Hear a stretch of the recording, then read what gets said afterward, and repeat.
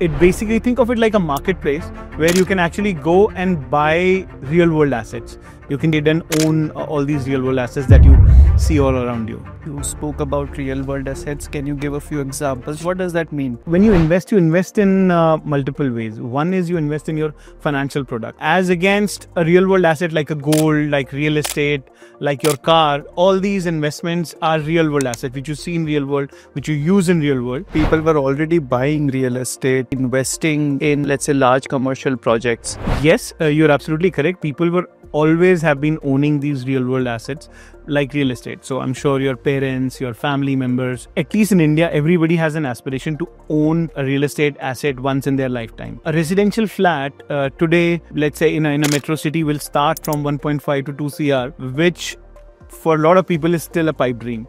Right. And what if I put that flat on digitally, I tokenize it, and then I give those tokens and ask you to own those tokens, which have been fractionalized. So each token, then the value of each token is so low that you can even uh, buy it with uh, as much as you buy a coffee for.